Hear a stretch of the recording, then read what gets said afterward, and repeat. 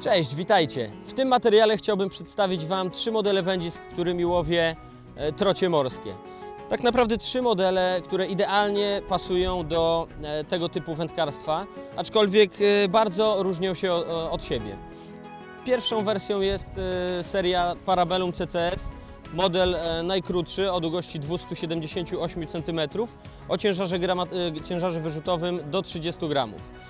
Wędka, e, która przechodzi najgłębiej w parabolę, przez co mm, możemy tą przynętę mimo krótkich rozmiarów posłać bardzo daleko, bo ona nam się doskonale ładuje, ale również e, muszę przyznać, że ta wędka dawała mi najwięcej frajdy podczas łowienia.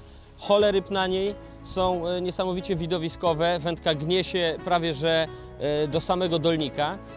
Także y, gorąco Wam ją polecam, szczególnie tym, którzy łowią w miejscach takich jak Zatoka Gdańska, w miejscach, gdzie klify często osłaniają nas od wiatru, e, no i przez to możemy spokojnie używać tego delikatnego modelu. Kolejną wędką jest seria Salmonoid CCS, seria, która tak naprawdę jest dedykowana pod łowienie troci, a moim ulubionym modelem jest model o długości 304 cm o ciężarze, gramat, y, ciężarze wyrzutowym również do 30 gramów.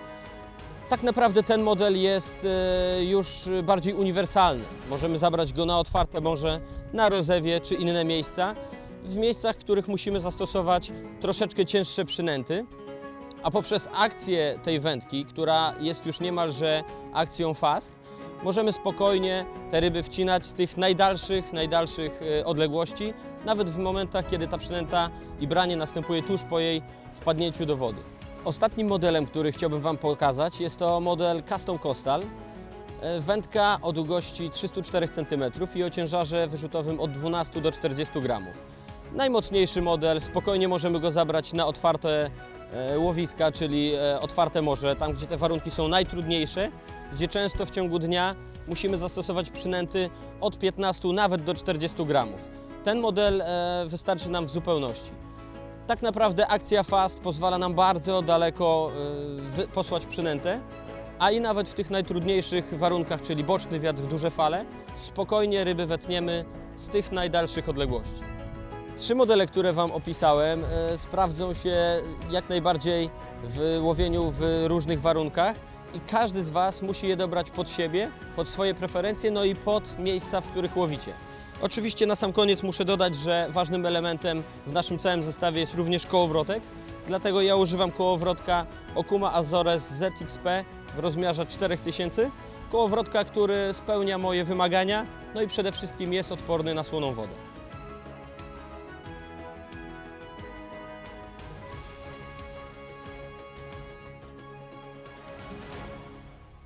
Dziękuję Wam bardzo. Oczywiście nie zapomnijcie zostawić subskrypcji, łapki w górę, no i wciskajcie dzwoneczek.